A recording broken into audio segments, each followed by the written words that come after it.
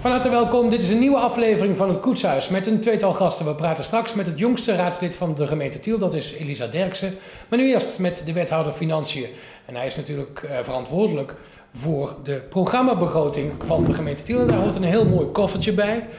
Um, na Den Haags voorbeeld, uh, wethouder Verspuit. Zeker. Die begroting laat eigenlijk weinig ruimte over, maar het gaat nog goed met Tiel. Klopt, we hebben in het uh, voorjaar bij de zogenoemde perspectievennota een heel raadsdebat gehad over waar we extra middelen aan willen geven. Daar zijn toen ook uh, behoorlijk wat zaken uitgekomen. De vernieuwbouw van het Lingencollege bijvoorbeeld, coördinator social return, de buren support. Dus echt nou, majeure ontwikkelingen die uh, de stad echt gaan veranderen. En het is gebleken dat we zo'n feest niet twee keer per jaar kunnen houden in Tiel. Uh, dus bij de begroting was er geen extra geld uh, te verdelen. En dat maakte natuurlijk uh, de stemming wat somberder. Ja, de cijfers laten een klein tekortje zien? Ja, klopt. Van, van drie ton. er gebeuren ook bij het risicobeheer wel een aantal zaken. bijvoorbeeld de zogenoemde achterblijvende overheidkosten. Dat is heel technisch uh, begrip natuurlijk. Maar ja, wat houdt het in? We gaan op een aantal terreinen flink samenwerken in de regio. Werkzaak, op werk en inkomen. Ja, dat werkzaak, dat begint handen en voeten te krijgen. En wat houdt dat in?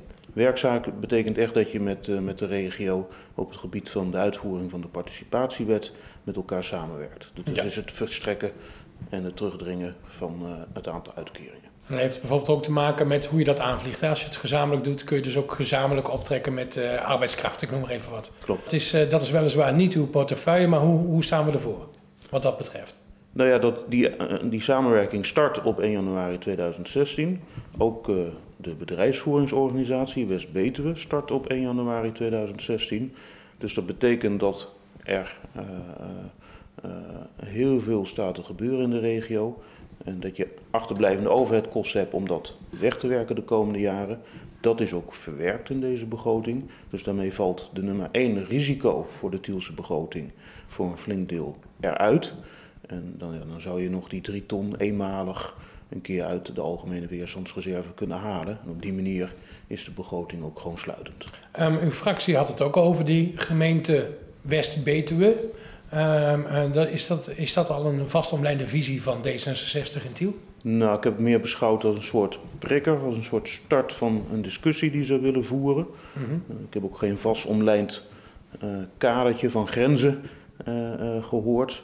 dus maar, ik, ja, ze willen die discussie voeren over ja, in hoeverre ga je elke keer samenwerken, samenwerken, samenwerken. En wanneer wordt het logisch om eens een keer te zeggen van we maken er één gemeente van. Ja, en hoe ziet het college van Tiel dat op dit moment? Nou, het college van Tiel is vooral bezig met de regionale samenwerking om dat te vatten in speerpunten en dergelijke. Dus uh, het college heeft vooral gezegd van uh, rustig aan. Samenwerken prima.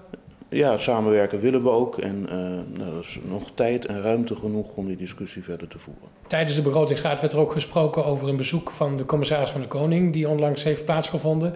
En daaruit zou dan blijken uh, dat, uh, dat, dat er gezegd werd, de boodschap was van nou, uh, onderzoek het nou eens met elkaar wat jullie kunnen doen. Doen jullie dat niet? Op termijn gaan wij dat als provincie wel doen.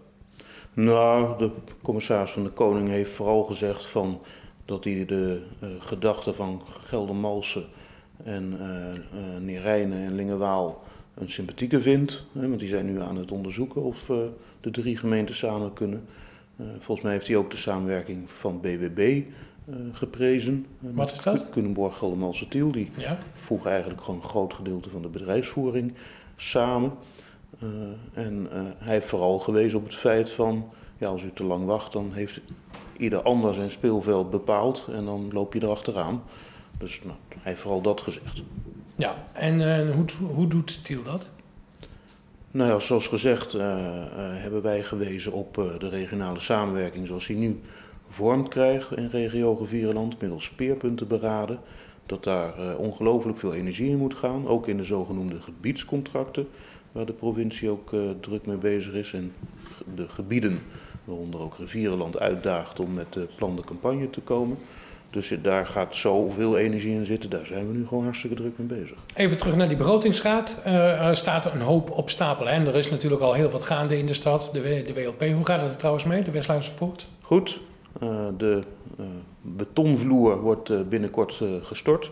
Het is in de week van 8 december. Dat is nog een spectaculair gebeuren, heb ik begrepen. Gebeurt onder water? Gebeurt onder water. En drie dagen achter elkaar, 24 uur per dag, wordt daar beton gestort. Dat moet achter elkaar door, anders is die vloer niet waterdicht. Dan moet dat nog wat uitharden. En als het goed is, dan is het voor het einde van het jaar is de kuip leeggepompt. En dan, ja, dan ga je pas echt zien hoe groot die parkeergarage straks ook daadwerkelijk wordt. Ja, en er wordt natuurlijk ook ingezet op, eh, op onderwijs. Ehm, dat laat deze begroting allemaal zien. Er zijn ook eh, zaken ehm, die blijven liggen. Bijvoorbeeld het zwembad. Nou ja, het, het zwembad... Daar bedoel ik mee te zeggen, daar is niet omlijnd geld voor gevonden tot op heden. Nee, maar ja, deze coalitie heeft ervoor gekozen om het zwembad te willen privatiseren. Uh, daarmee heeft het geld uit de begroting gehaald. Uh, en moet er een plande campagne komen voor een geprivatiseerd zwembad uh, in Tiel. Uh, maar wat niet draait met gemeentelijke middelen. Nee, wethouder Driessen ehm, is met dat verhaal op pad gestuurd. En dat wordt voor hem nog pittig. Om te kijken of dat daadwerkelijk kan. Nou ja, dat is geen makkelijke opdracht natuurlijk. Nee. Dus, ja. Dus wordt eigenlijk gezegd, we willen alles. Sterker nog, we willen iets meer dan wat er nu is, maar we hebben geen geld. Dat klopt. En nou ja, op een gegeven moment gaan werkelijkheid en financiële budgetten elkaar ontmoeten natuurlijk. Ja, um, als we kijken over de zorg. Um, heel veel zaken zijn naar de gemeente toegekomen. Hoe is dat gedekt in deze begroting? We gaan ervan uit dat we het uh, doen met het geld wat we vanuit Den Haag krijgen.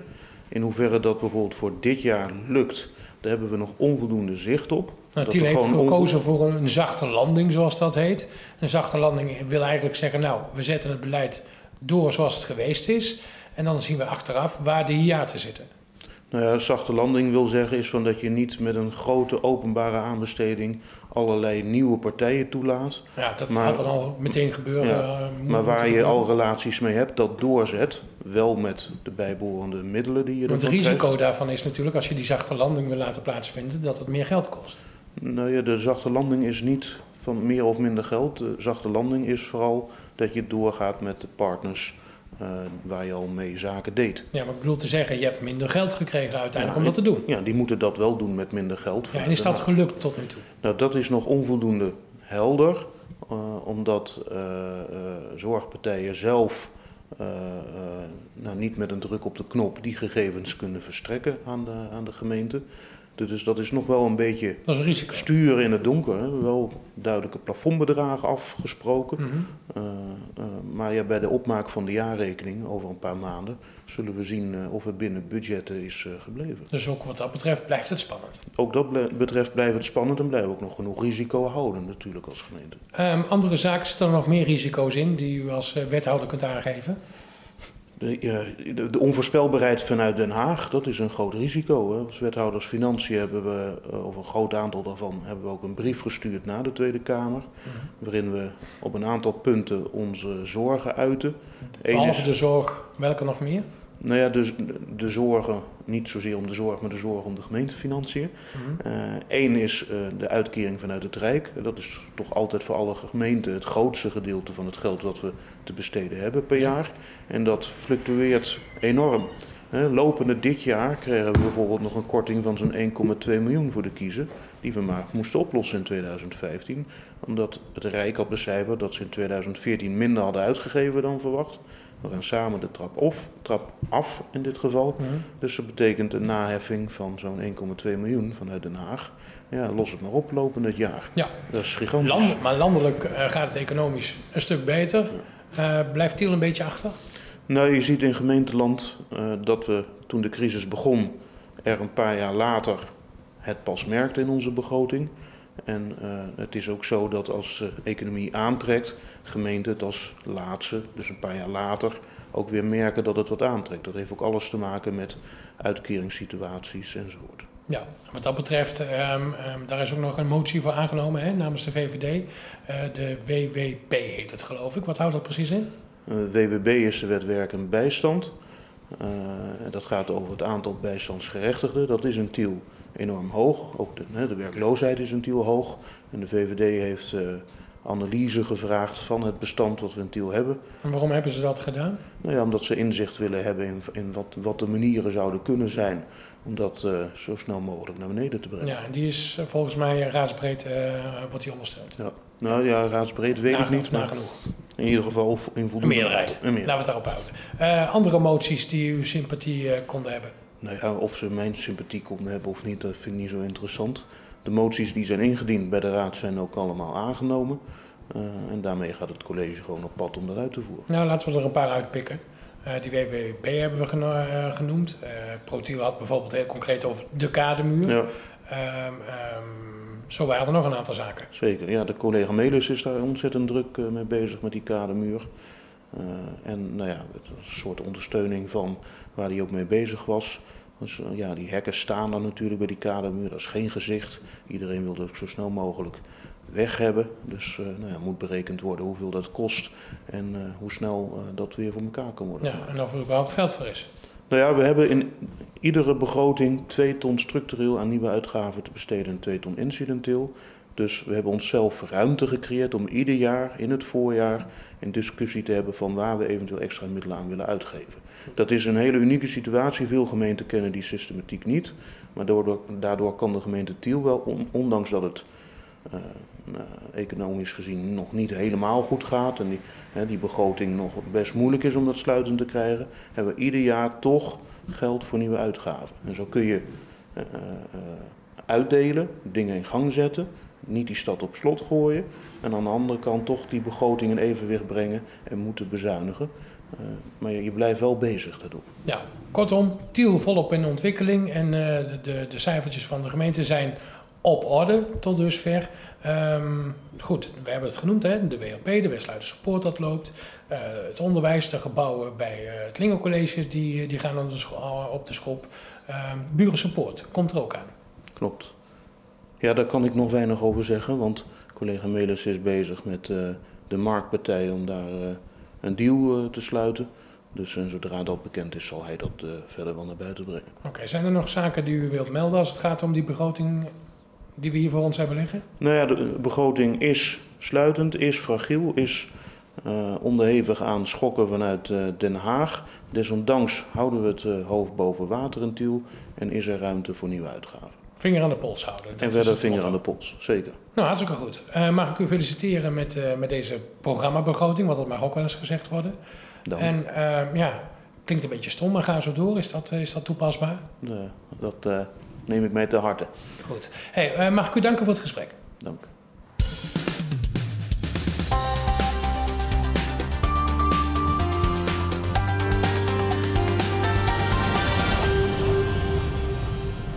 Nu in het koetshuis Elisa Derksen. Ze zit namens de VVD in eh, de Tielse gemeenteraad. Ehm, volgens mij ben jij de jongste, hè? Ja, dat klopt. Ik ben momenteel 23 jaar en eh, toen ik in 2014 gemeenteraadslid mocht worden, eh, was ik nog maar 21. Dus ik ben inderdaad de jongste. Van waar op zo'n jonge leeftijd betrokken bij politiek en dan de Tielse politiek in het bijzonder? Ehm, ik ben begonnen als bestuurslid binnen de VVD. Ik heb me toen eigenlijk ingezet voor jongerenwerk, omdat ik dat miste in de gemeente Tiel, maar eigenlijk ook in onze buurgemeente. Toen ben ik begonnen met debatavonden organiseren. En eh, ja, van Lieverlee ben ik eigenlijk op de verkiezingslijst eh, terechtgekomen. En ook Met- qua opleiding, wat doe je? Ik heb bestuurskunde gestudeerd. Afgelopen zomer heb ik die eh, opleiding afgerond. Dat is ook nog eens een keer hartstikke snel. Eigenlijk hartstikke snel. Ja, ja, ik heb er drie jaar over gedaan. Het was hartstikke leuk, maar ik had genoeg tijd over om ook gemeenteraadslid te zijn. Hey, en, en wat doe je nu? Ehm, nu ben ik werkzoekende, maar vooral heel intensief gemeenteraadslid. Omdat ik vind dat ik eh, het aan mijn kiezers verplicht ben om mijn werk goed te doen. En ik probeer daar nu zoveel mogelijk tijd in te steken naast het solliciteren voor een leuke baan. Nou, chapeau wat dat, wat dat betreft. Ja, dankjewel. Ehm, als, je, als je nu terugkijkt in de periode dat je nu in die gemeenteraad daadwerkelijk zit, wat valt je dan op? Ehm, het is heel erg veel leren natuurlijk. Ik ontdek heel veel verschillende dingen. En dat is nu met die werkgroep eh, Stads- en Regiobezoek blijkt dat ook. Maar ik vind het ook heel erg leuk om dingen te doen voor de burgers die dichtbij staan. De inwoners van Tiel die hebben natuurlijk iedere keer te maken met de eh, thema's die wij bespreken in de, in de raadzaal. Het interessante daarom vind ik ook dat ik in begrijpelijke taal kan uitleggen wat we hebben besloten of wat we gaan doen.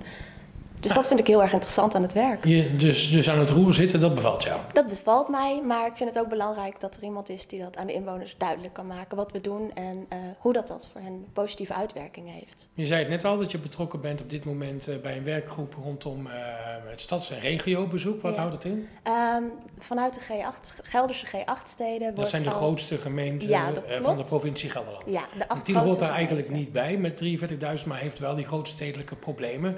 Dus Tiel Tiel hoort daar wel bij. Ja, Tiel hoort wel bij de uh, acht niet, Gelderse niet grootste- aantallen, aan, aantallen Nee, maar wel uh, met dat soort problematiek, Mhm. helaas. Maar uh, dat maakt wel dat we mee mogen doen aan die traditie. En er is nu een werk, werkgroep van verschillende raadsleden. En deze raads- en commissieleden hebben eigenlijk gezegd van... nou, we gaan dit jaar een stadsbezoek organiseren... maar dat willen we eigenlijk naar een hoger level tillen. Mhm. We willen meer aandacht hebben voor het regionale aspect...